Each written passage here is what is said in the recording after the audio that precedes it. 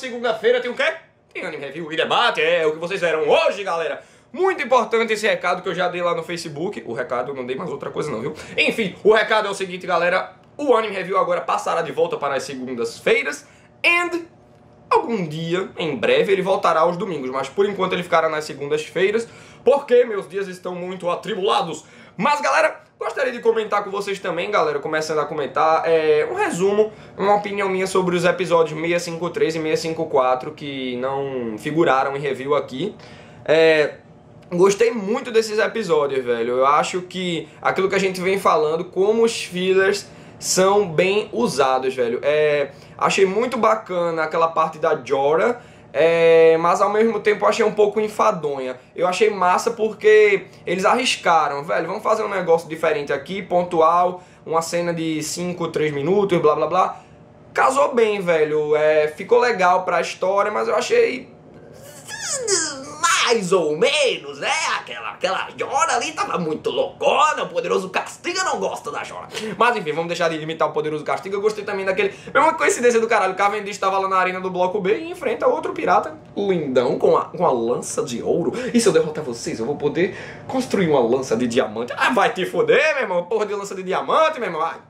Olha, pô, fiquei puto com aquele cara, gostei que Cavendish derrotou ele.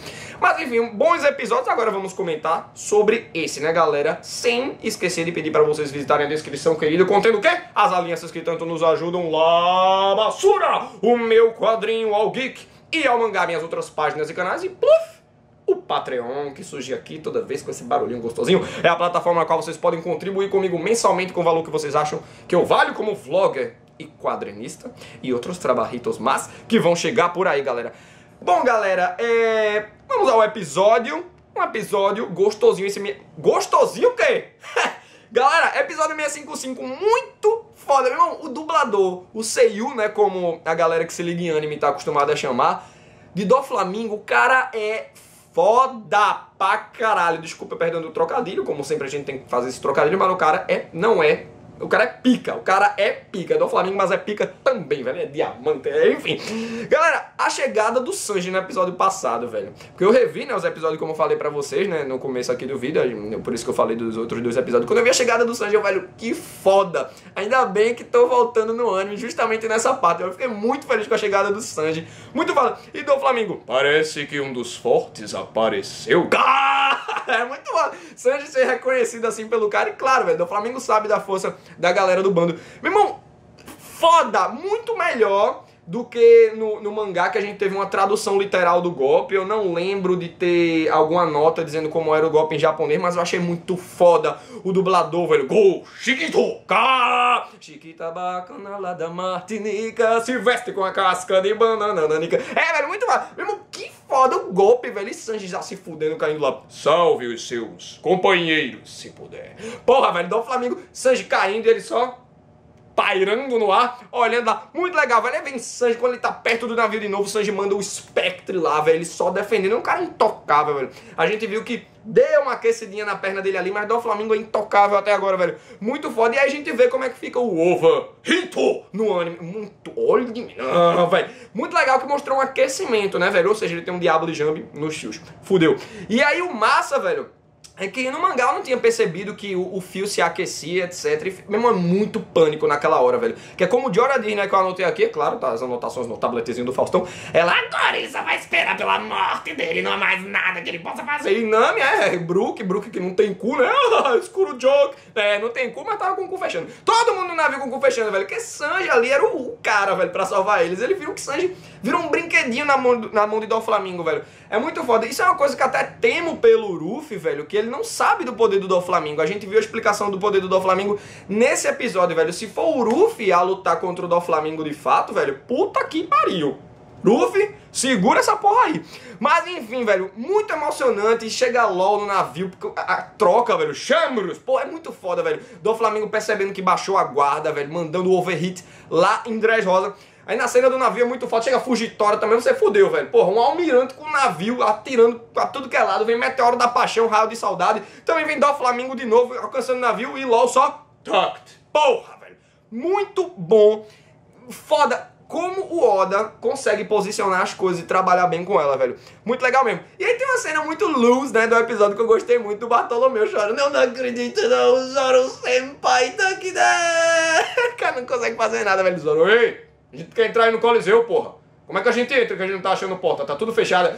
Ai, eu não aguento não. Depois de ter conhecido o Luffy-san. Agora eu tô falando com o Zoro Senpai que nem... Mano, esse cara tá muito doido aí, velho. Não, muito bom, velho. Coitado, ele nem conhece o bando de Bartolomeu. Mas imagine você Tá vendo aqui esse review do episódio 655. Aí chega sua mãe, seu pai, quem for que esteja aí na sua casa e diz: Ó, oh, tem uma visita aqui pra tu. E chega a Oda no quarto. Eita porra! Fala demais, velho!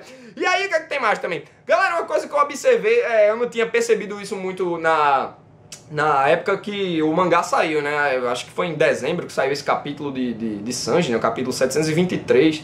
É, se eu não me engano, é, atualmente a gente tá no 755, a gente tá vendo quanta coisa tá acontecendo em Dressrosa, né, velho?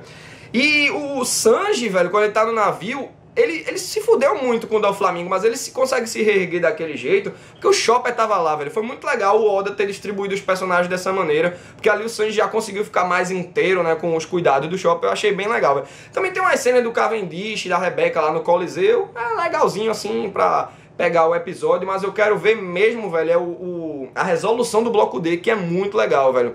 E no final, LOL contra do Flamengo na ponte, velho, vai rolar a luta. Puta que pariu.